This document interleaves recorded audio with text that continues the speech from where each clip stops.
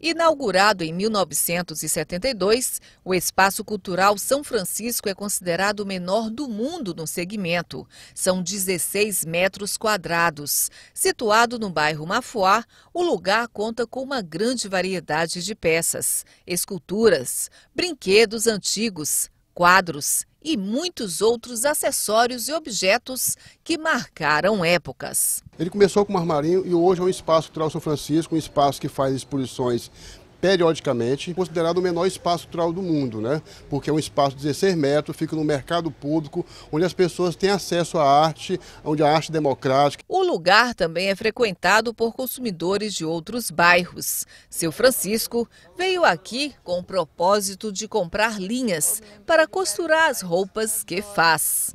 Esse espaço eu acho que é muito bom, ótimo espaço. É, tem um tratamento excelente, né? Por isso é que eu frequento, né?